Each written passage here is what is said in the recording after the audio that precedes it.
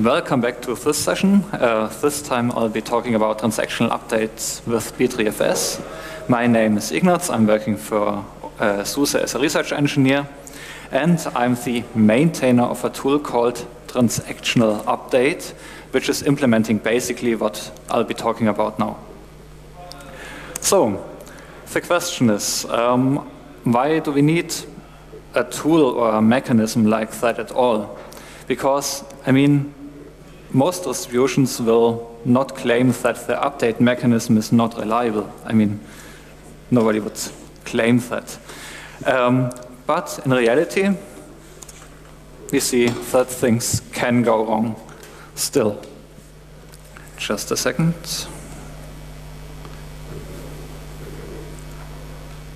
Yeah.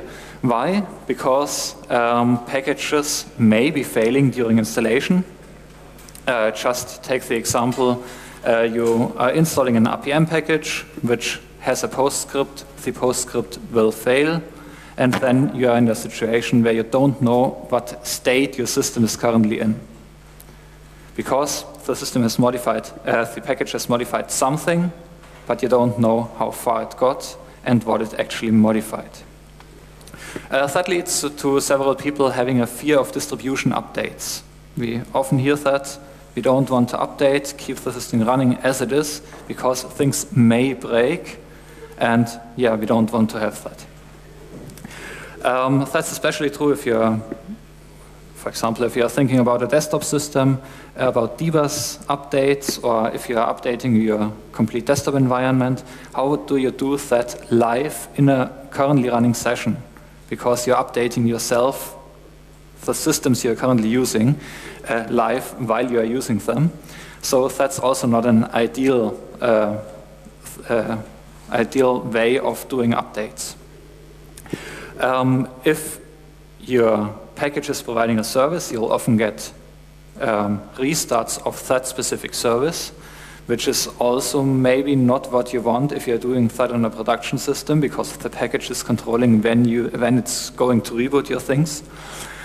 Um, and of course, if you're doing that as a maintenance, in a maintenance window, um, you have quite long downtimes until that update has finally finished performing all its operations, which may also not be ideal.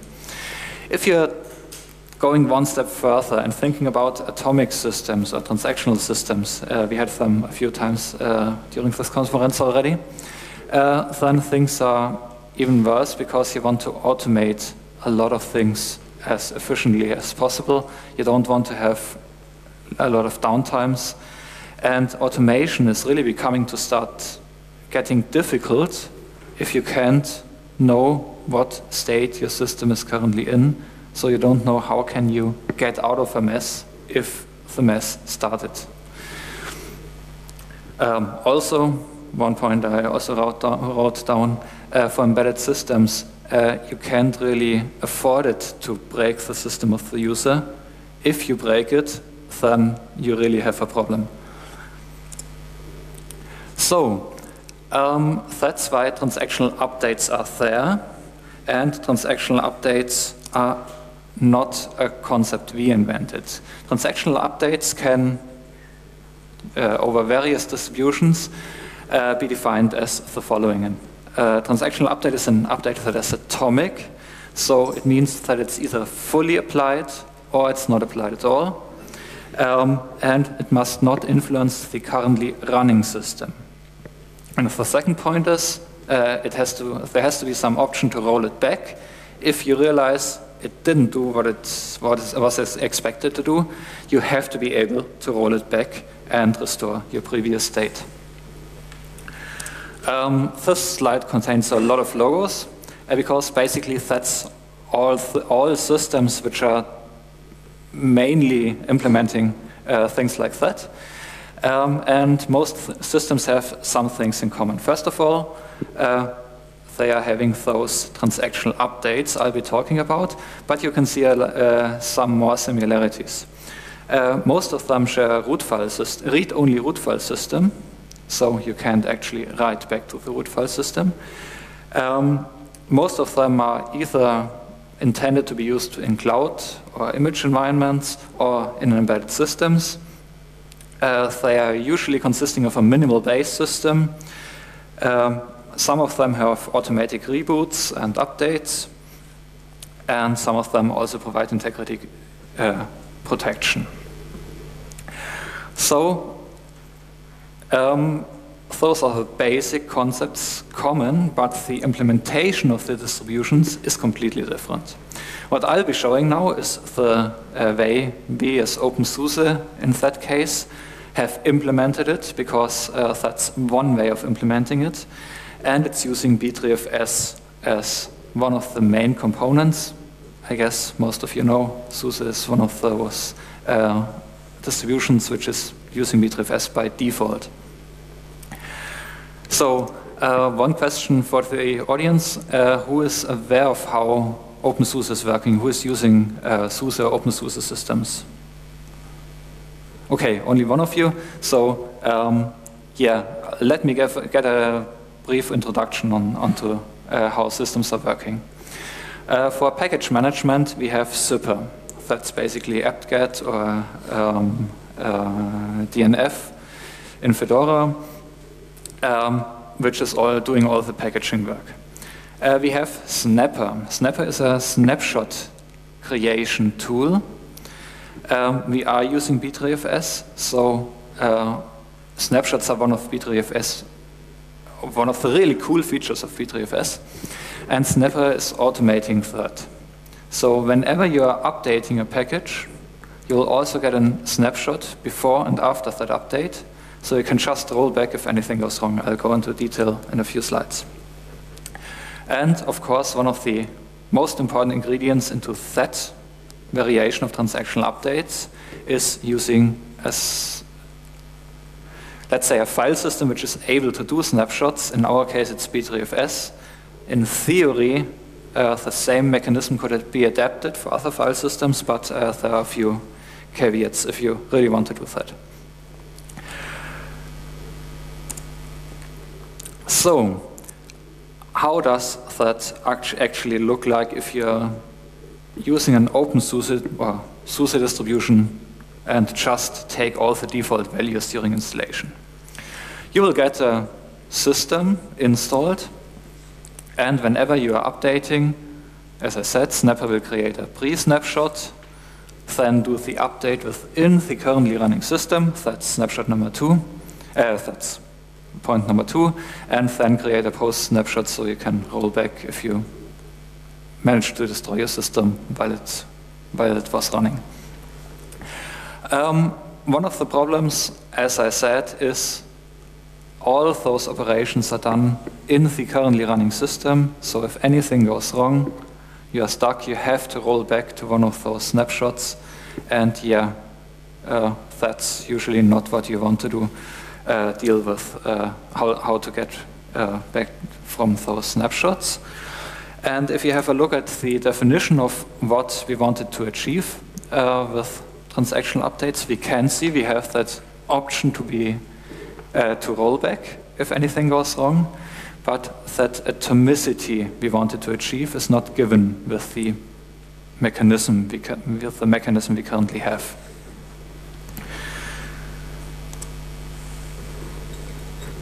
That slide is not supposed to be in here. Um, that one is.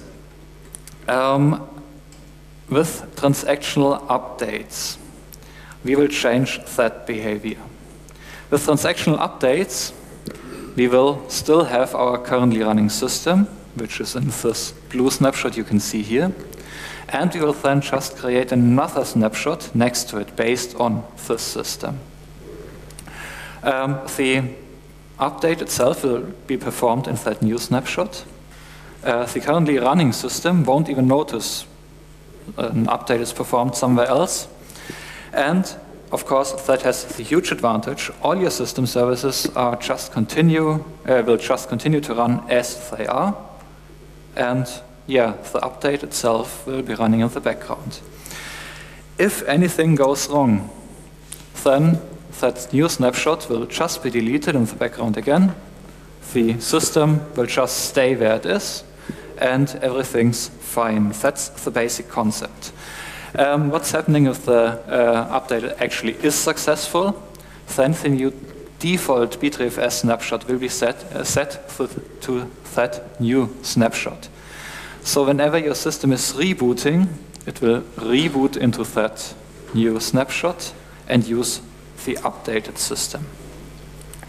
Uh, one of the basic elements of atomic systems is that reboot part, because you can't guarantee atomicity in a live system or in a running system. That's also one of the things which is common with um, the other atomic systems. Um, yeah, that reboot part. Um, we also have a helper tool called Health Checker. Um, if the system was actually rebooted into that new system and anything goes wrong in there, it will try to detect that. For example, you can check for services which, which, services which are not running as you want them to be.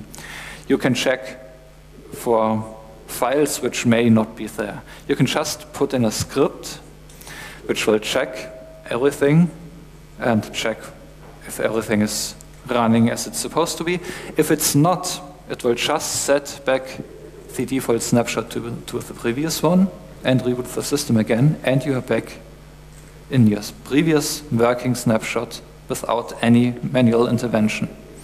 Uh, that's the whole idea of it. Uh, we also have a grub2 snippet, uh, which would be better if it was solved by, uh, or there's an, we have to do it manually, SD uh, boot by systemd would be able to do that automatically, but we are not using that.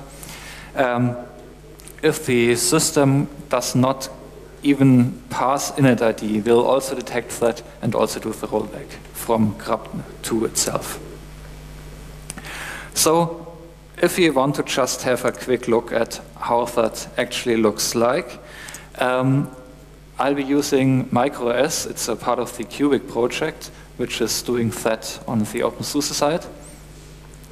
Um, you'll see that it is a read-only root file. It, uh, it has a read-only root file system, but still, even with a read-only root file system, you have to be able to write to a few directories mainly var, because obviously it contains, contains variable data. You have to be able to write that. Um, and etc, because probably you don't want to use the default configuration all the time and want to change a few bits occasionally. Um, I don't have too much time, so I decided to uh, record a few uh, uh, things and play them as a video. What you can see here, uh, yeah, it's working perfect. What you can see here is a default uh, system which just booted up. I just increased the uh, font size. I hope you can read it even from the back now. Is it visible somehow? No nodding, a few nodding, perfect. Um, we can see our zypper command. Like I said, it's the default packaging command, uh, and I've just listed the default repositories. You can see those are the default Tumbleweed repositories. Tumbleweed is the rolling release distribution of OpenSUSE. And we can just use zypper search to actually search for some packages. You can't use zypper anymore as soon as the actual file system would be modified. In this example, I am trying to installing to install something and that obviously breaks. We'll get a warning that this is a transactional system and we have to use transactional update to modify such a system. We can also confirm that by, by just touching a random file, which simply won't work with the message read-only file system. So let's disassemble that system a bit so we can see how such a system with a Btrfs file system layout is actually working.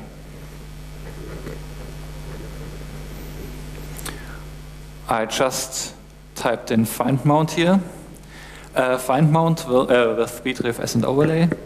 Uh, and we can see a lot of subvolumes. First of all, can I highlight this somehow? No, I can't. First of all, on the top here, we see that the root file system is read-only as intended.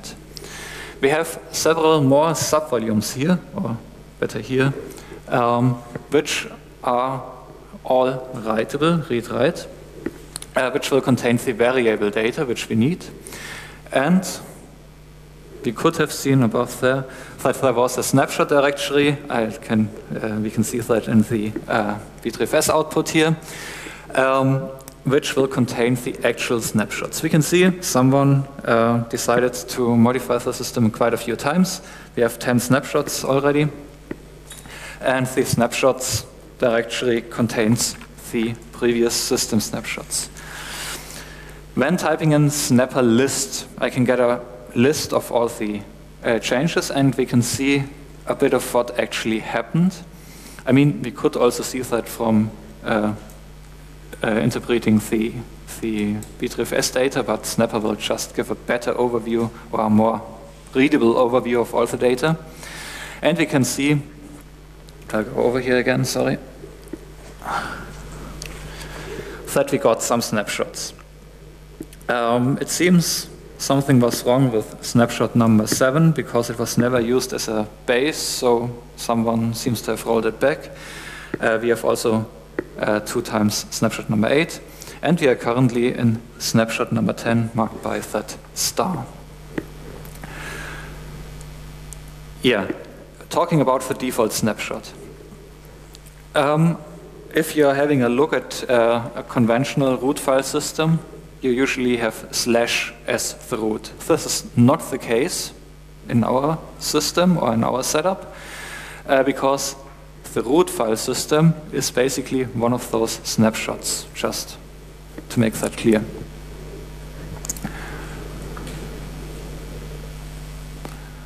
Now let's install a package.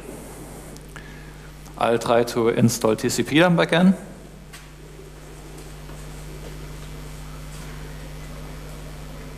And we can see some output by transactional update itself. And then just the regular zypper output. So we don't have any special dedicated mechanism uh, like most other distributions do, which are having their own packaging format, but it's just using the default RPM files. I'm sorry, I guess I shouldn't step on that. um, we just are using default RPM packages which are part of the Tumbleweed and our OpenSUSE distribution. Now it's just going to install that. I'm sorry, the network was quite slow on that day.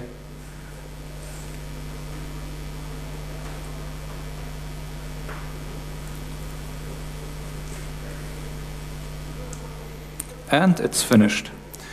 Now uh, we'll try to execute tcpdump and we will notice we can't. It's not there. Why? Of course, because it was done in that snapshot, which is still not visible. And if we call snapper list again, we can see that a new snapshot was created, which will be the default on next boot. And we'll just simulate a reboot now, just fast forwarding it. And we can see uh, tcpdump is working now. It's was a virtual machine, so we don't get any traffic here. Transactional update has lots of options. Um, for example, uh, ba basically it's just replacing all the writable parts of the zypper command. So we can see here we have dup, we have up, we have all those uh, package commands, um, and we can roll back as we want, and a few special things which also require modification of the root file system.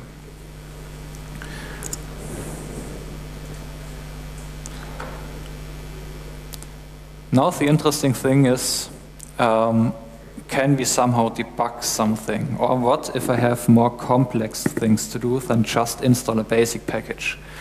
Then we have that transactional update shell command, and I've combined it with an installation command again. In this case, we'll just get iotop installed again. Uh, not again, we'll get iotop installed. And the execution will then stop in a transactional update shell. We, we will see that in a minute. Here, We are now in a transactional update shell, and we can use IOTOP immediately. Why? Because it just ch rooted into that new snapshot. So you as an administrator, for example, are able to check that the system is, did everything or the update did everything as it was supposed to do. Now imagine if you have more complex update procedures. you you would just open a transactional update shell and then do the update in there. You can check all, this, all things you have to do. Um, and only when you're finished, you would exit the, uh, the shell, and only then you would reboot and get all the updates done once by simply rebooting without any downtime in between.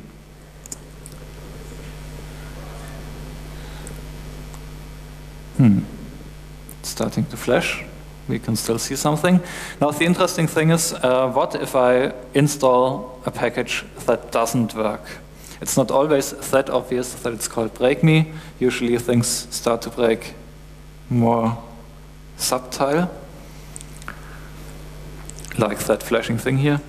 Um, in that case, uh, the uh, the pre-script even, of that script failed um, we will just get the message that Zypper was not able to install this successfully because exit code 9, and in that case it means it was a manual abortion, uh, but uh, we'll get code 108 or something like that. If a script has failed, in any case, the snapshot will just be removed again, and the system is just as before. We won't get a new snapshot. If we have a look at our list of snapshots, we see nothing appeared here. So um, that's just a cheat sheet uh, in case you want to know all the commands uh, at once. And that's basically how such a transactional system works. Seems easy, right? Um, I know some of you are distribution developers also developing atomic distributions, so yeah, it's not as easy as it looks like. So let's have a deeper look at, what, at what's actually happening in the background. First of all, we have that ominous var handling. Um, with the var directory, we have one problem. Namely, it can't be part of the snapshot. Because if you would snapshot that directory, yeah, it would be static and let's assume you have your database in there, then all the data between that snapshot and the next reboot would just be gone. That's not possible. Uh, uh, you usually also store your Docker images in a separate uh, var subvolume, uh, which is also not something you want to snapshot. So var is special in a case that it can't be rolled back. Um, and it also mustn't be mounted into the uh, CH root environment where, you, where you are updating the system. Why? Because then you would modify the current state of the system, which you also don't want. So how to deal with that? Uh, the solution is pretty simple. You have to create systemd services, usually if you're using systemd, otherwise um, services, um, which will update or modify things on the next boot if it has to be modified. Imagine a database update which gets a new database schema, or whatever. Um, then the database itself will be updated during the transactional update run, but the migration of the data will only run um, during the next system boot. So yes, there's a slight inconsistency here because not all the data is rollbackable, rollbackable, roll? Backable. Can be rolled back. um, can be rolled back because, yeah, uh, you have to have that production data in a separate partition and uh, care for it uh, yourself, basically. Uh, we have the other case of etc.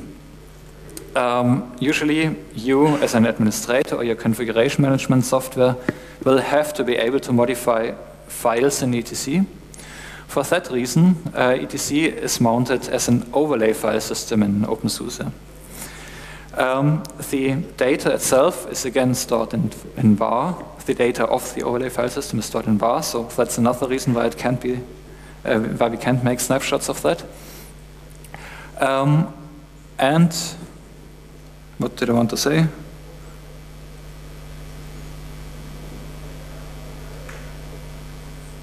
Yeah, and uh, that snapshot, uh, those snapshots will be stacked. Um, that means um, if you are updating your system all the time, you'll get several overlay directories in var. Those are stored in varlib overlay snapshot number something. So if, let's assume your configuration management software changed something, but the update also changed something. Then the newest overlay will actually win, in that case the, uh, the, um, uh, the overlay of the package update, because that will get the new snapshot number. Um, that's uh, in case of you, in case you visited also the ETC talk this morning. That's one of the reasons why we want to have a separation between um, package data in ETC and data which the administrator actually changed. So uh, yeah, you wouldn't get conflicts in that case, or not so often at least, uh, but usually it's just working fine. The newest file, uh, the file in the newest overlay will win, and basically we are in a consistent state. Uh, in my opinion, that's better than, um, for example, three-way merges, uh, which, uh, for example, uh, CoreOS is doing, uh, because we always have a consistent state in itself. Um, but yeah, that's, that can be discussed probably. Uh, we also have a few other directories, uh, namely opt, which will contain optional data. That's not part of our root file system. If you're installing something in there, it will just be installed immediately. Uh, we have var log. Why? Because you probably still want to log what's happening during the update.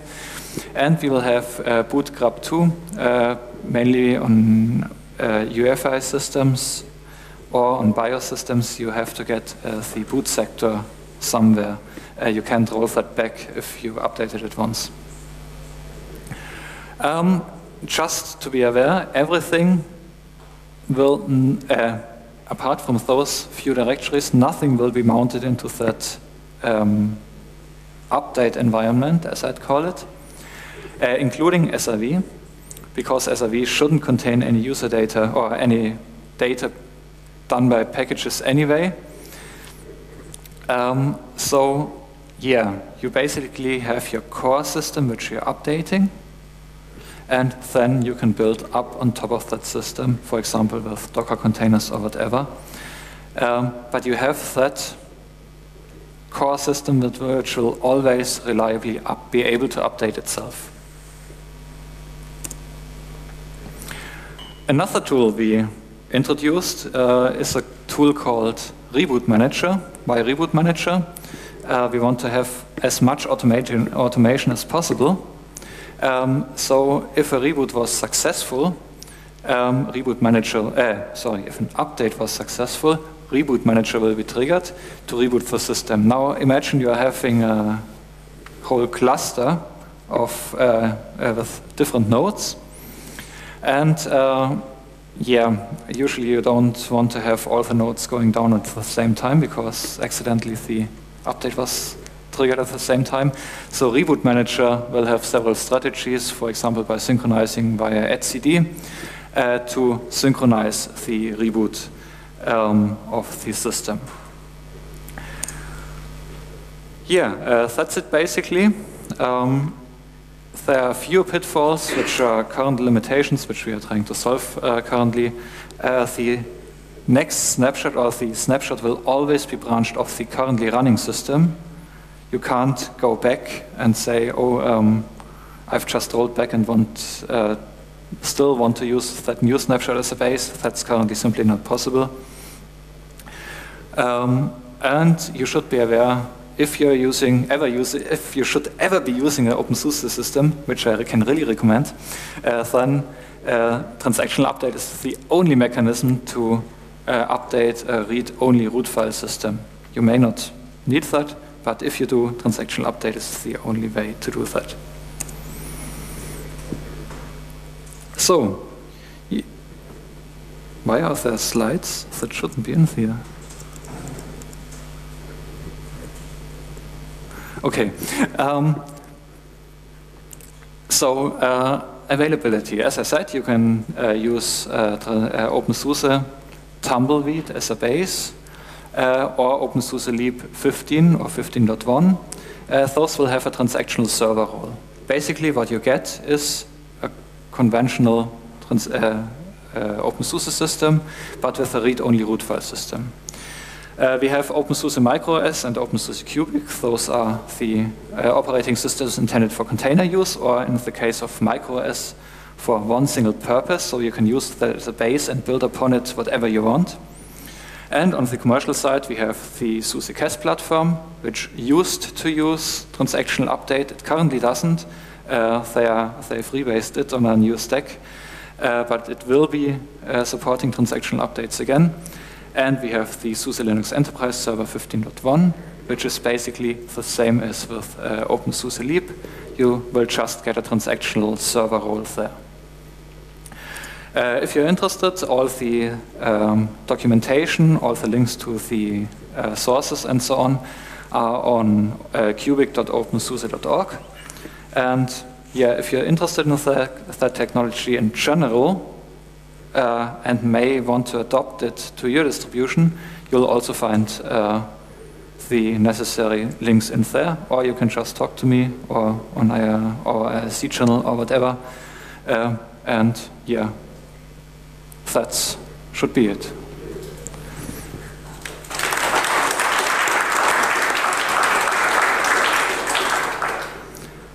Do you have any? yeah, lots of questions.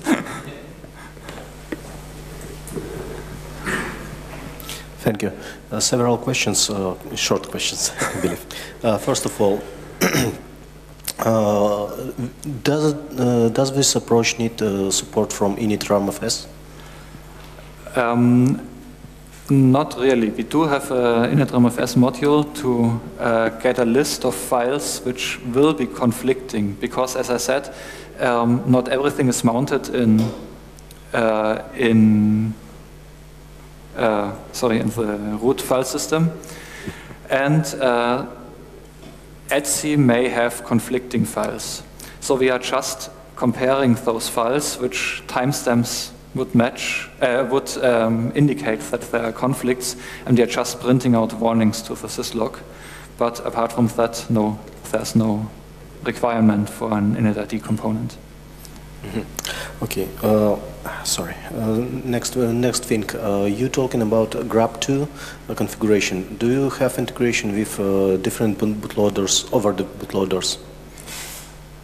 No, and that's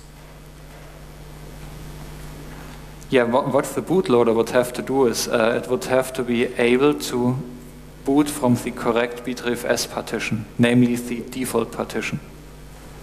If it's able to do that, which will probably the default be the default anyway, then you're basically fine. Then everything's just working out of the box.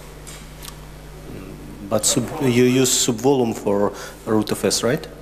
We are using subvolumes, yes, but we are setting the sub correct subvolume as the default Btrfs subvolume. Good. So um, yeah, basically if you're just mounting Btrfs with mount, for example, you will get that subvolume anyway, and if the bootloader is doing it in a similar way, like grub is doing, uh, then it will work out of the box. I have no idea about SD boot, to be honest. Uh, I have not even an idea how its Btrfs integration works, so if it does need something like that, Okay, and the last question. Uh, what is the criteria of successful update? A criteria for successful update is that zypper didn't return an error, in our case now. So it's before the reboot? I mean, if you reboot with updated uh, system and uh, something goes wrong. Uh, yes, then we have Health Checker, which is trying to detect those uh, cases which when the system did not come up correctly, for example, your database is not online, or you may check for uh, the uh, conversion scripts now that I'm talking about databases. Uh, if you have uh, database migration, which would have to be done, you can also make a check in Health Checker uh, and see if the database was migrated correctly. If it wasn't, Health Checker will automatically roll back to the previous state.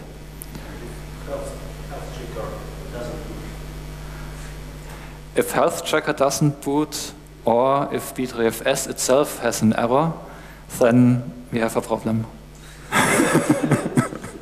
That's, uh, those are the two components that mustn't break, and uh, in a partial, a partial way, uh, the part of grub which is installed to the MBR, of course, or to the uh, boot sector also mustn't break, because yes, then we have nothing which can boot anymore. Uh, as, as a developer, is there a way that I can test my new packages without rebooting the machine? Like, can I, hey, I want to test my database in the new container beforehand? Because like spending a couple minutes rebooting is really tough. Um, if you're using containers anyway, uh, you don't have to reboot at all. You just maintain your containers. Or sorry, when, when I say container, I meant the, the like the new system image snapshot. Um, you can use the transactional update shell um, because you are basically inside your new system, but you won't have your var subvolume mounted there. So if you want to test something which depends on var, then no, you can't. If you don't, then you can use that environment for testing everything else you want. Yeah, hi. Uh, we have an embedded system and we have yeah, something like this, but not on the file system or level. But there we have a uh, network um, uh, network uh, API that you have to to call from the outside. And if that's not called in a spec specified time, then you reboot the system. Do you have anything like that here? Um, do you mean So- uh, oh, you, did, the- you did the update already and then boot into the new Yes. system and realize, oh, the network isn't coming up anymore? Yeah, for some reason outside can't reach you anymore. Um, the question is, can you do that with Health Checker? I would say yes, because uh, if you use, for example, uh, the Network Manager Online, NM Online, no, what's the command? Uh, you can use, uh, there's a command for checking if the network is online already, or you could just uh, have a loop and checking for the uh, for the network. If it doesn't come up, then you would have to return with a non-zero exit code, and Health Checker would roll back the system. So basically, you could just put any anything which is scriptable can be put in there, um, or I mean, you could also write your own service or whatever uh, you are using, and yeah, just do the rollback manually, or call uh, rollback helper manually. Uh, sorry, transactional update rollback manually. Uh, I have another question about the health checker. Uh, what dependencies does it have? Is it agnostic enough to be able to use it on, on another system, on another atomic system? Uh, yeah, but don't look at the source code, please. uh, there are some really crude, crude hacks to get uh, grub to, to be able to do that rollback mechanism. Um, that's why I was having a look at um, SD boot from systemd because that has support for uh, that already. It doesn't need those hacks. Um, Health Checker itself is just a shell script. Okay. Or, a collection of shell scripts for grub, for uh, systemd, and for, uh, yeah, basically that's it for the shell scripts and the initRD.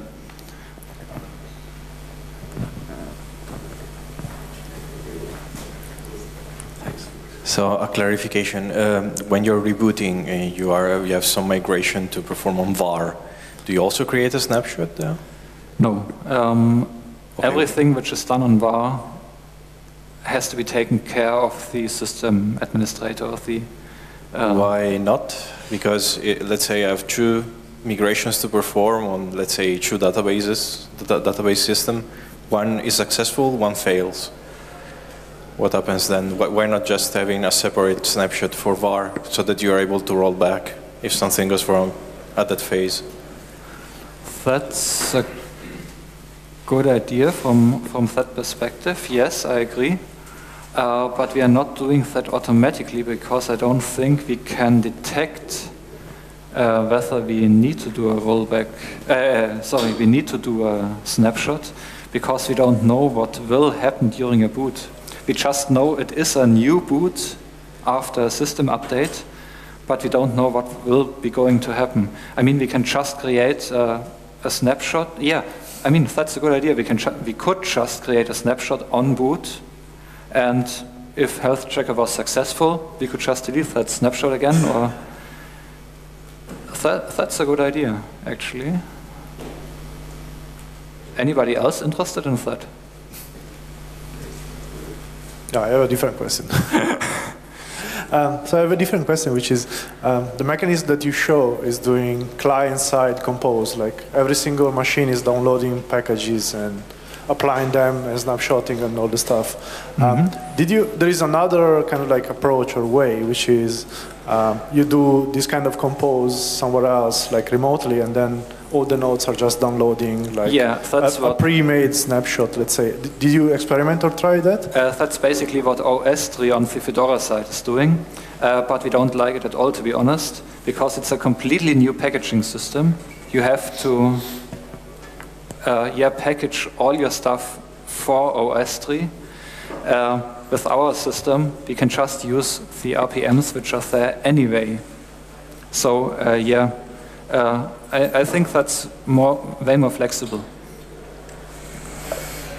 Yeah, uh, we don't have time anymore. So thank you, uh, Ignaz. Thanks a lot.